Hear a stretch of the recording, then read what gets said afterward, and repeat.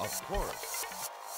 Yeah, I do the rap stuff, Baron's a stand up. But don't try to brand us or put us in handcuffs for fans of Jolton got some music too. It feels new, but it's not confusing. New Negro, some people are scared of. A word of a scene they was not aware of. We heard you believe what the media get told you. Them old ideas get blown up. Behold a new Negro. This, that, and a third. Man, you say you seen it all and you sound absurd. I'ma tell you one you for sure ain't heard. I'ma tell you one you for sure ain't heard. Yeah. Yeah, yeah, yeah, yeah. Thank you very much for coming. Welcome to the new Negroes. I'm Baron Vaughn. And I'm open, Mike Eagle. Uh, and, and thank you guys for coming out tonight. Yes. Thank you for saying, I'm not scared, I'm going out. Right. And to those of you at home, thank you for being scared and staying in. we need those sweet, sweet ratings. And a special thank you to you, Baron. Me? Yeah. I know how hard it was for you to come out tonight. I mean, you know, this is our show. yeah, but. I'm scared of everything. Yes. Okay. I mean, you know, I'm not gonna lie. On the way over here, there was a cop in the lane next to me, right? Exactly. And I got nervous, so I was just like 10 and 2 and keep on driving and look ahead and nothing is happening. Not gonna die, not gonna die. On the way to my own show, I'm not gonna die. I'm not suspicious. I am delicious. Oh, he's fucking gone. Okay. Oh, Jesus. What am I, a nerd? You know what I mean? He does that every day. I do. But I just did something that uh, that changed my life. I watched this show about doomsday preppers, right? Mm. And go bags. These are people who are afraid of the end of the world, and they're constantly making bags containing all the things you need if you gotta go, like real quick, like in a crisis. Oh, I need one of those. Mm-hmm. 'Cause I'm afraid of a mass scale power outage because I have no survival skills whatsoever. Hmm. I can't build shit, I can't grow shit, don't know shit. It's actually a great idea, Baron. Okay, wait, no, I'm not. I'm not. I'm not being clear. Actually, let me let me just back up. I saw that go bag shit on TV, and I thought these people are crazy because they haven't invented go bags for everyday apocalypses. You know, micro apocalypses, microapocalypses, uh, trademark pending. So, like a go back for that time when I accidentally called my barber dad? Exactly, Mike. That's a micropolis or an open micropolis. Okay, this one time I was at a party, right? And then uh, I ended up singing the wrong words to Juicy, Mike. Uh oh. Juicy, exactly. Ugh. I was like, it was all a dream. I used to read Highlights magazine, and then a bunch of people just turned around. I was like, this motherfucker just say highlights. And at that moment, I wish I could have just, you know, like opened a bag, thrown down a smoke pellet, and just like projected a hologram Biggie. And that would have given me one more chance get the hell out of there because they're hypnotized. All right. Anyway, you guys ready for the first comic? Yes. Well, this comedian coming to the stage right now is from the great state of Louisiana. That's right. And if you like jazz, you're gonna like that ass. Please welcome the big black voodoo daddy, Josh Johnson.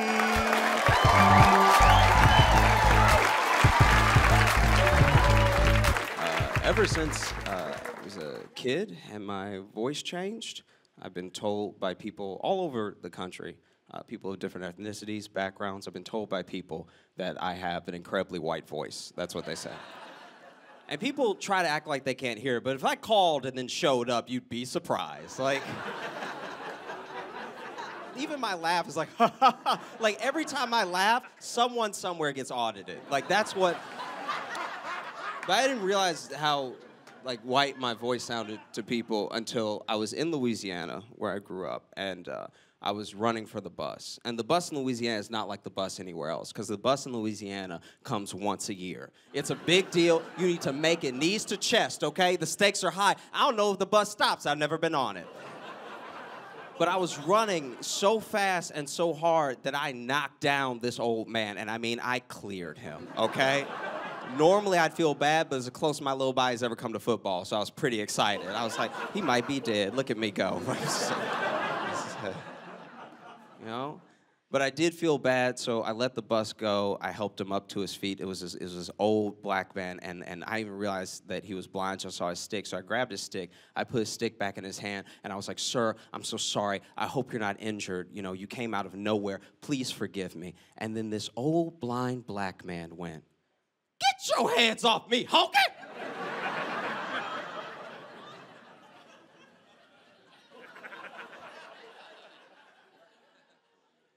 And I was like, Sir.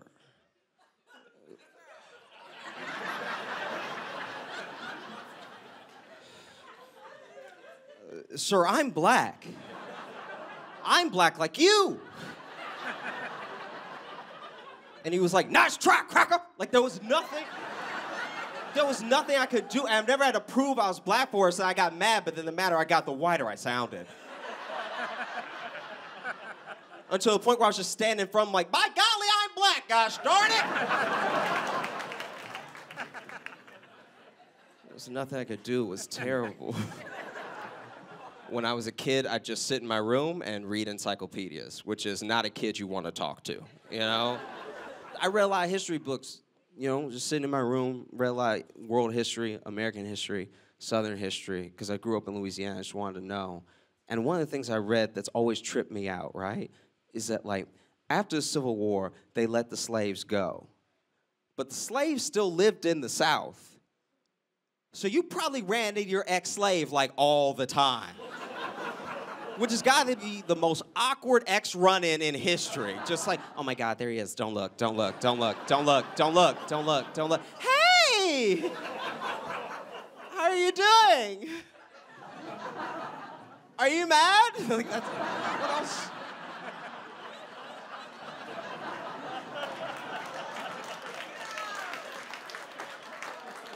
I mean, what you gonna do? I actually, no lie, guys. I, I straight up, I had a nightmare that I was a slave, which wasn't even the worst part of the nightmare. The worst part is that I was the worst slave in human history. I was the worst. I was so bad. I was yelling at the slave. master, like, I'm not trying to start a revolution. I can't pick it up. All right? No, I passed out from heat stroke twice today. Okay? You can whip me if you want, but I'm anemic, so I will bleed out and that's on you, okay? Oh, you're gonna kill me? Please kill me. Please kill me. I would love for you. To, this heat is what's killing me. I've had hay fever for two months. And then they moved me into the house, but they didn't teach me how to read, so I don't know any recipes. So the food is so bad that even the slaves are mad. Like everyone is mad at me. And then I almost burned the house down trying to boil some water, you know? to the point where Master comes up to me at the end of the dream and he's like, Look, uh, look, I don't know what to do with you. You free, okay? Like, I can't. Guys, I'm Josh Johnson. Thanks so much. This next comedian and I went to the same damn high school. Please help us welcome to the stage Will Miles.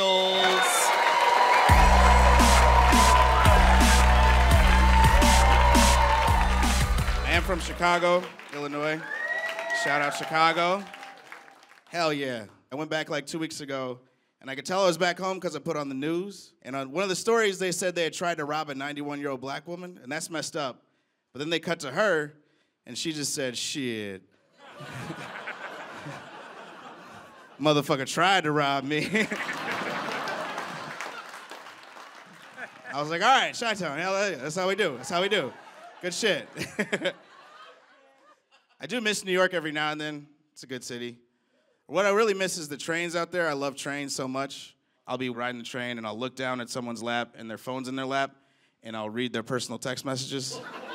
it's a full invasion of privacy, but I have fun doing it, so I think it's okay. But I was doing that one day and I accidentally found out someone was crazy because I looked down and I saw this person was texting the contact me in her phone. And at first I was like, maybe that's a cool way to spell May. I don't know about. Let me look again. I looked again, and the blue was the white, the white was the blue. She was definitely texting herself. And then she would text herself, then hold it out and go, And it happened a lot. Like stop after stop, she would just text herself and go, to the point where like people were getting on the train to try to sit next to her, and I just made eye contact with them and I'm like, mm. just go around, trust me. You don't want to do it. But then she got off the train and I sat down in her seat and I wrote down everything I'm telling you right now on my phone. Because I was like, that might be funny later, I'll write it down. Then I held out my phone, I went, oh no. I get to look at the internet all day for work. I'm a writer. Uh, and it's good because I get to see a lot of different stuff that I don't get to like look at a lot, like news stories on Twitter. I like looking at, at news stories that I find on the internet because you see some fun stuff. Like I, I saw a news story that Russian hackers have been pretending to be black teens online. and I got excited when I read that because I was like, ooh, there's no way they're good at this. That's great. I can't wait to find out. Like American white people don't know how black teens exist, so it's like a Russian guy is not gonna have any idea. So I was like, all right, let me check this out. So I went to a Republican senator's post about healthcare, and I was like, here we go. I'm gonna find this troll. And I looked, and the first comment was a black teen with a backwards cap. And I saw that backwards cap, and I was like, hmm. we don't really do backwards caps anymore. then I looked at what he wrote, and he wrote, we gotta trust the 1% they know how to live. We got to trust 45, MAGA. Let's just let him and his friends run the country. And I'm not saying black teens don't talk like that, but they don't. so I saw that and I looked right underneath, and the first comment underneath was somebody else who just commented, Man, that nigga up there is a Russian.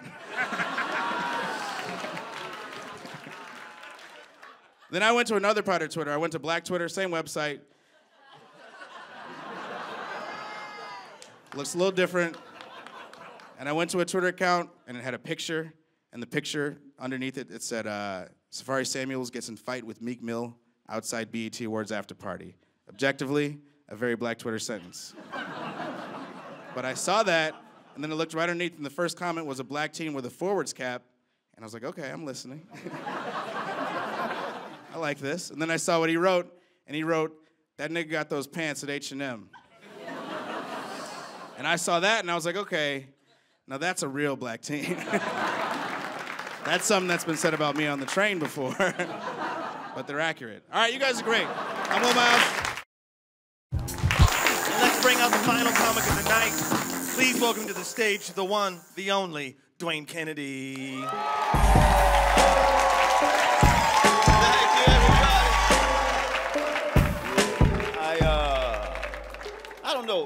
Believe in God? Anybody? Anybody still on that tip? Always the black folks. White people, no, no Dwayne. No, no, Dwayne. No, no, no, no. I have a 401k. So no, no, no, no. No, no, no, no. But go ahead with your little skit.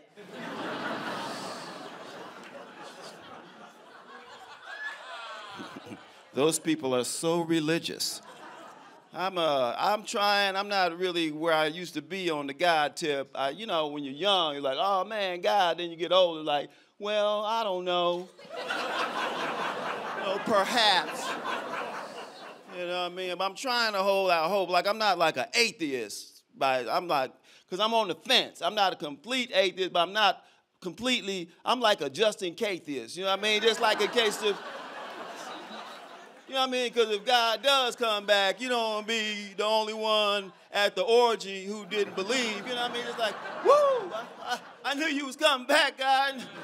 Didn't know it was gonna be tonight. But uh, and then some places God says, it says, God says in the Bible, some places says, do not judge the time of my coming. I will come like a thief in the night. well, Here's the thing about that. I live on the south side of Chicago. You know who comes like a thief in the night on the south side of Chicago? Everybody. Everybody. Everybody. Everybody. Everybody comes like a thief in the night on the south side. And Chicago say, hey, God, rather than coming like a thief in the night just to be on the safe side, you might want to come like a mailman in the morning. You know, that's an abusive relationship, you know. And then he tells you not to worship any other gods while I'm gone. Well, when you coming back, baby? I don't worry about when I'm coming back.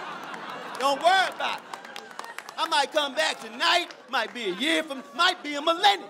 And there better not be no other gods at the crib when I get back. I'm back. Huh? Who is this? You worshiping now? Let me see. Let me see your phone. Huh? Who is it? Uh, Vishnu. What? Huh? Oh, you like that, huh? You like them pretty brown wavy hair guys, huh? That's what, that's what you like? Is that what you like? You gonna worship me? Man, it's going better than I thought it was gonna go. Yeah.